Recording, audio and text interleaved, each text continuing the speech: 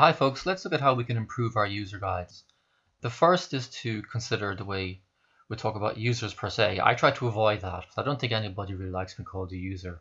So I try to write it so that I'm saying, you know, you can do this or it's available for you to do that. Uh, so try to have a dialogue with the person reading it. Um, you know, it's a person, they have obviously feelings, and in many situations we only read documentation as a last resort we try and figure it out ourselves, but if we can't do it, then we open the manual. So just bear that in mind, that often people who are reading it, they're, they're in a hurry, they're stressed out, maybe people are you know, in pressurized situations, and really, quite often it is really the last resort. I don't think anybody intentionally reads user guides to, to pass their time. Don't assume anything in the sense that, like, don't assume anything. Um, when you start the user guide, you need to put things in context. In other words, when you're describing different um, concepts in your documentation, try and give people an example or introduce scenarios of where this may work for them. And that kind of gives them a real world idea of how something could possibly work. So try not to discuss only the abstract side of things, but give real world examples and strive to be helpful. Um, the next thing is that most of the time what you're doing is you're discussing a potential problem the user is having and then you're trying to explain a solution to it. And a, a lot of user guides use procedures to explain how things work.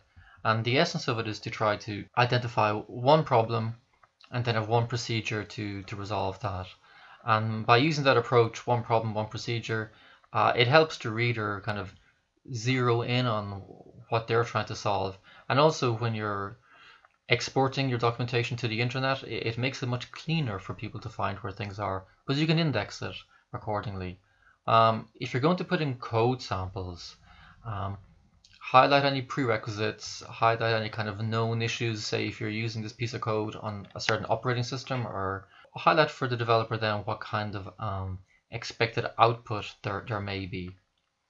So as regards the steps themselves, what we're trying to do is explain the steps to, to achieve something to the user, the person, see I did it again, but put them in the correct order so there's no ambiguity as regards what they should do.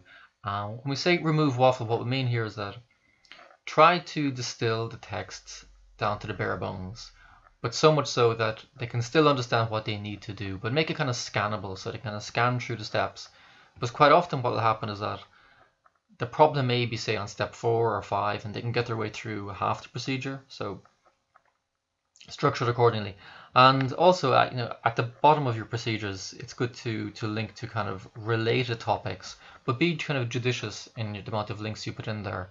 I try to put in say three links at the bottom, like in a for more information section, but not more than that. As regards screenshots, you know, only put them in if they add value. You don't have to put in screenshots in the sense of you don't need to jazz up a user guide. That's not its purpose. Um, but if you are going to put them in or they do add value, is when you show something in action in the sense of if you show something changing from one state to the next.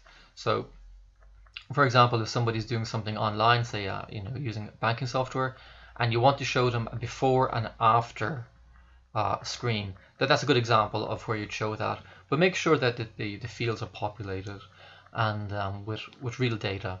The other thing too is you don't need to whole, show the screenshot of the whole page it's fine just to crop it and kind of circle the area where the, the, the critical thing is, is occurring. Um, as regards creating modular content, what that means is that you create something kind of in the anticipation that you will reuse it at a later date. Either you might put it out onto different platforms or it might go into different documentation. So you don't it avoids rewriting everything from scratch every time. Um, and you know the principle behind it really is to structure your information accordingly to allow you to create modular documentation as regards online, you know, I, I think very few people I think really really like to use PDFs. They're very clunky. They're very hard. They're often quite large. Um, if you can move things to the web, I think that's a real benefit to people. They can ac access it anytime. And I find, for example, if I try to download PDF, say on my iPad, it often doesn't work or it crashes things. Whereas on the web, you can read it and it's all there. But you need to write accordingly for the web and to to to cross-link between different sections. Um, when you're finished then of course, make sure you get it reviewed by offering it to different members of the team, use the track changes, and to avoid um, to avoid data pollution, make sure you remove um, redundant uh, versions of the documentation particularly if you update something, so there's not different versions circulating out there. Um, and the final thing is that you got to test it at some point, and you have to ask people out there if it works. And there's a few ways to do that. One is to always include an email in your documentation. So if they have an issue, if they find something wrong, they can email and get back to you. Uh, I try to keep an eye on forums because if if a certain issue keeps coming up and users can't figure out how to solve it, it probably means you haven't captured that in your documentation. It may be a known issue, but maybe you haven't written up how to resolve that correctly. And uh, another thing to do is send out surveys and ask your customers what can you what can you improve, what can you change, how can you make it better. So I hope that helped. Um, if you have any questions about any kind of technical documentation, please put them below the video and I'll get back to you for sure. And if you enjoyed this, please subscribe to the channel or um, pop over to Klariti. So that's it. Speak to you soon. Bye bye.